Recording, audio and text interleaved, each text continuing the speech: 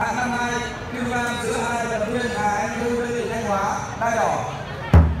Gặp vận động viên lê thị hải, câu lạc bộ vận quế võ, tỉnh bắc ninh đai xanh.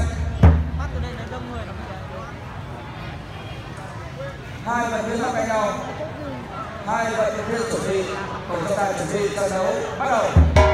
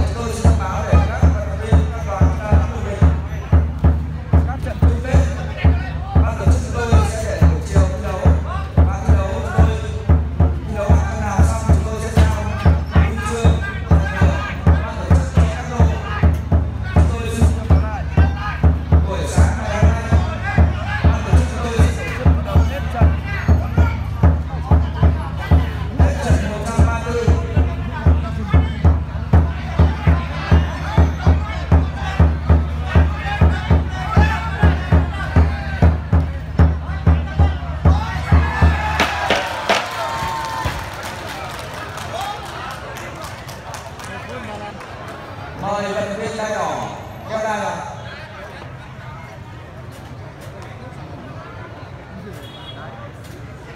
Xanh thắng anh? Xanh thắng.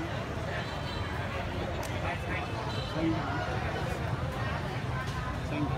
Chúng tôi xin công bố kết quả ở lúc 1 phút 20 giây hiệp 1 vận động viên đai xanh thắng cuộc